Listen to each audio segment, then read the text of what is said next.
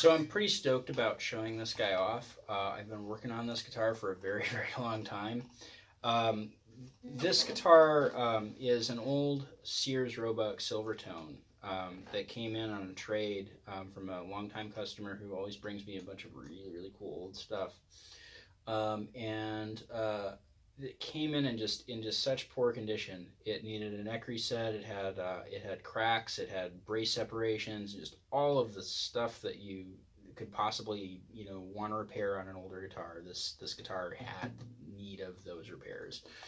Um, and so um, I probably have spent um, you know a week or so uh, off and on, kind of taking this on and off the bench and, and doing little things here and there. And today I finally got it set up and playing. And as soon as I heard the tone that was coming out of this thing, I was just so pleased because it just made all of that work worth it. This is such a nice sounding guitar. It sounds like honey. It looks like honey. It's just really gorgeous.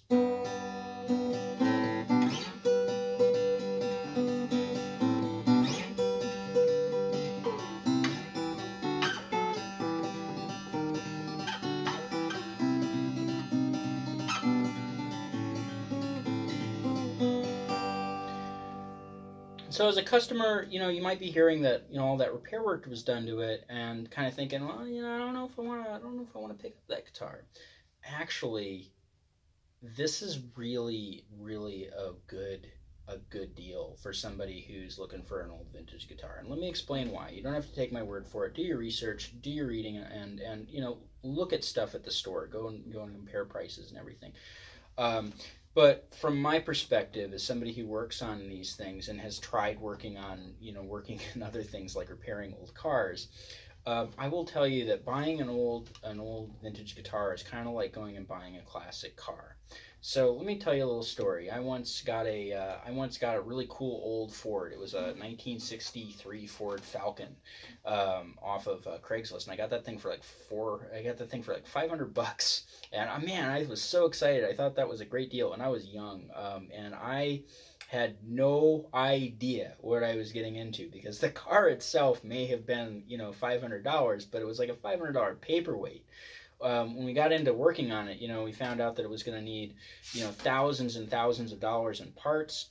Um, you know, there was stuff in there that we didn't feel comfortable working on that we are gonna have to pay people to work with, and so by the end of the day, like this this whole project ended up looking like it was gonna like it was gonna be tens of you know tens of thousands of dollars to get this thing you know really rolling nicely um, and you know it, uh, we did end up just kind of pitching that idea and, and, and selling that car to somebody who is better qualified to do that stuff than us but buying older guitars can kind of work out the same way i can't tell you how many customers i've had come into the shop with uh, some you know thing that they thought was a really good deal. Uh, maybe it was an old Gibson or an old Guild or something that they had picked up for like a few hundred bucks. You know, it was a guitar that sometimes goes for, you know, several thousand dollars.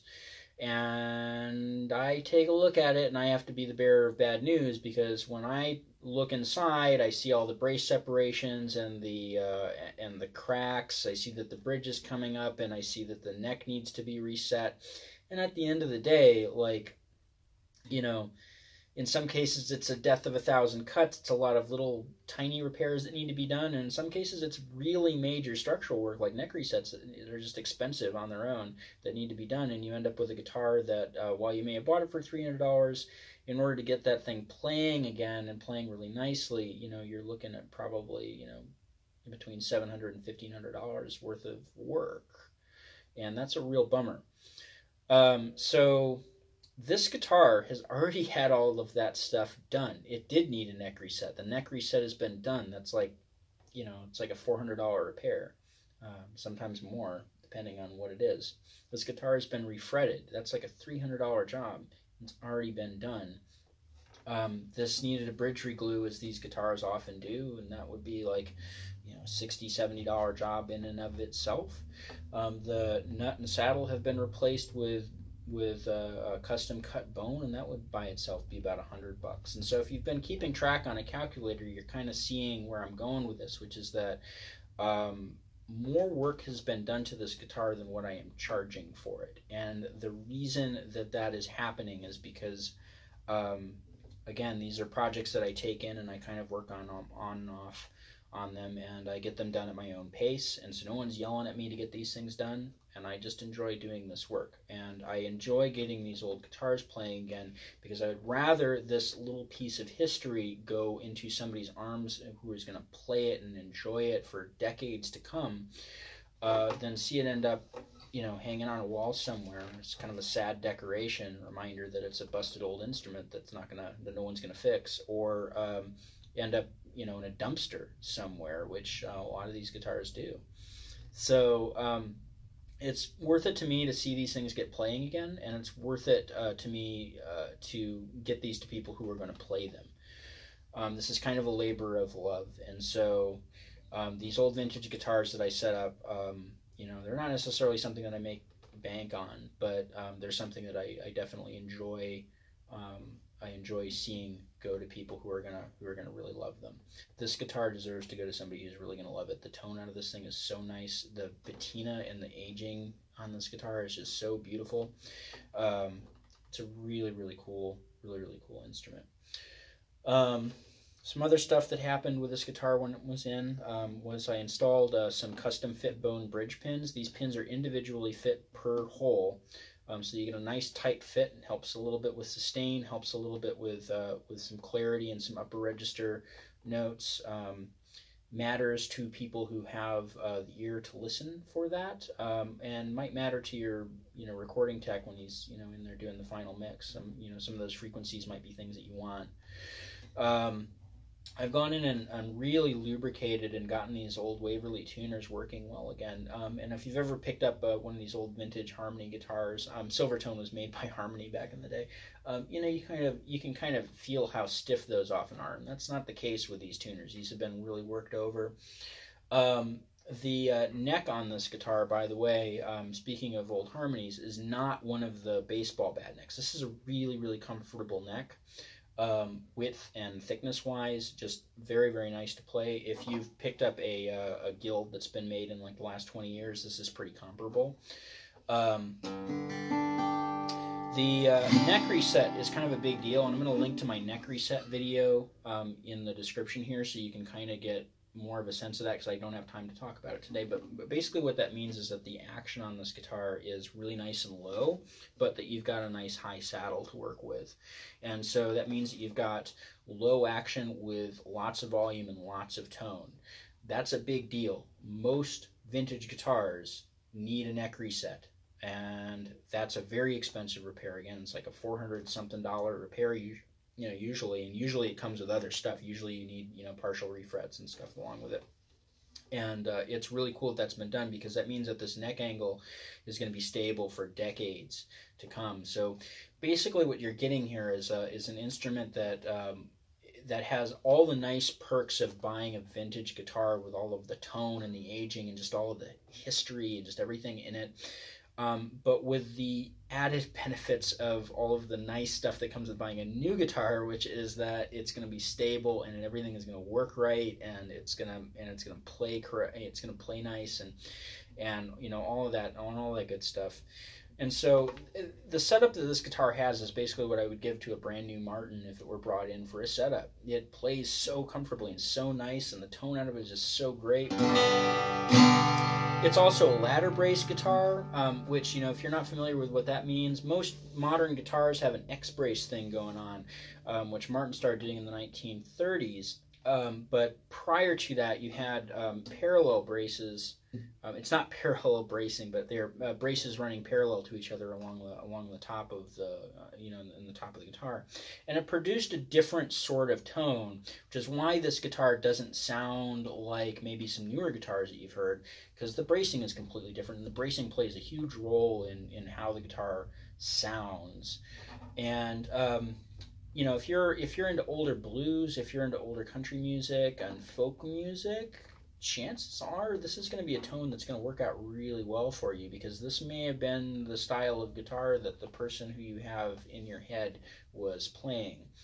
Um, because if it's you know if it's some of those old timers um, like Lead Belly, Lead Belly was uh, was probably playing on a ladder brace guitar in many of the recordings that you've heard. Um, I would say that the same probably goes for many other uh, people of that same era. So um, this may be this may be a sound that you're looking for. Um, it's definitely got the look, um, and you know if you're if you're into playing some older stuff, this is this is just a really really great guitar. Um, so there've been some crack repairs in the back, and uh, if you can't tell where they are, well, I guess that means that I did my job well. Um, there, uh, you know, the bridge has been reglued. Um, neck has obviously been reset, refretted. New nut, new saddle, new bridge pins. Um, one other thing that I've done to this guitar is that since this is a screwed-on pick guard, um, there's sometimes some buzzing issues and some uh, kind of uh, muffled sort of feathery stuff that that does to tone, as in it, it kind of muffles stuff and makes it unclear. And so uh, what I like to do with these is I actually like to um, uh, glue these down with a little bit of contact cement, which is not, uh, it's reversible, it's completely reversible, uh, washes off really easy actually. Um, it's the same stuff that you would use for uh, gluing down a modern pick guard, but the reason that I like doing that is because it, it secures the pick guard to the top of the guitar um, and just you know prevents all of those issues from happening. Um, and it doesn't change the look at all. And like i said it is reversible. So if you don't like that to be the case it can be popped off and you know you can get that stuff cleaned off really easily in like uh, five seconds with a rag.